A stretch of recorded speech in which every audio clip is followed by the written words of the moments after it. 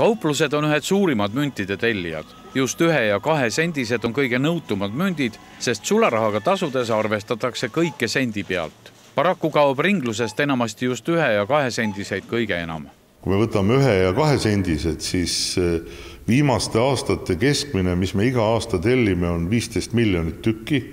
see natuke kõikub, üks aasta rohkem ühesendiseid, teine aasta rohkem kahesendiseid, mis eh, väga jämedalt eh, arvutades teevad umbes nelikümmend viis tonni.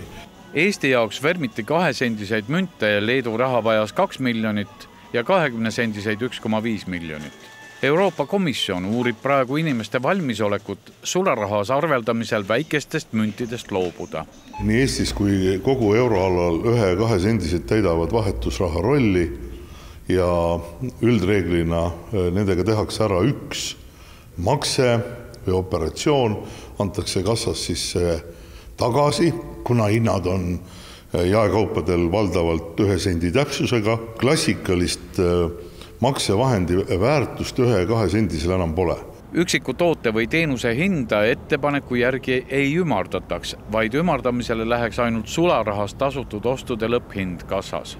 ümardatakse üles või allapoole lähima viie sendini teiste riikide kogemused on näidanud, et niimoodi hinnad kokkuvõttes ei tõuseks, kuid ühe ja kahesendiste kasutamine väheneks märkimisväärselt